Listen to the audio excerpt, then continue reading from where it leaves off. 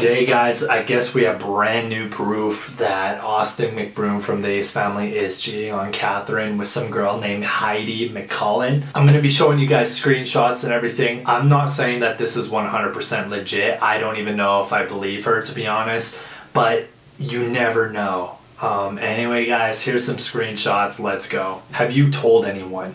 No, I haven't. No one but my sister and I have just told her I'm pregnant, nothing else. Why would you tell someone, unblock my number? Don't say stuff to anyone else. Unblock my number. What the F? That baby probably isn't mine anyway. Please, can we just talk? Call me when you're ready to. Leave me alone, please. So this girl just told Austin that she's pregnant. And now Austin is kind of freaking out like, oh, well, the baby's probably not mine, but then he's probably thinking, like, oh, wow, it could be mine. Oh, okay. Please, just scared. You should understand. Don't need this getting out. Just want to handle it quietly. I'll pay you whatever you want. Please, just don't need this getting out in the media. Please delete the pictures of us, any that you have proof. I'm begging, and please unblock me.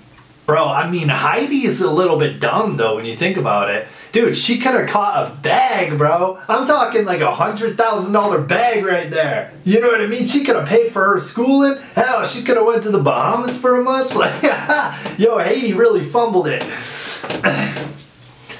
but anyway, guys, at the end of the day, um, if this is real, um, I, I, feel really sad and heartbroken for Caitlyn. I mean, Catherine. What? I feel really heartbroken and sad for Catherine. I, I hope it's not real. Um, just because, you know, they're such a beautiful couple and they have such a successful life together. And, you know, it'd be so sad to see that just like jeopardized. But at the same time, if you really love somebody, you, you should never ever cheat on them. Like that, that's like, that's like just crossing so many lines that it just, it shouldn't happen, you know. Um, but yeah, that is it for the video. Tell me if you guys think this is real or not. I mean, it looks real from Austin's Instagram and stuff, but you never know with like Photoshop and stuff nowadays. You just never know. Um, so just tell me what you guys think in the comments, and I hope you guys have a fantastic rest of your day. Peace.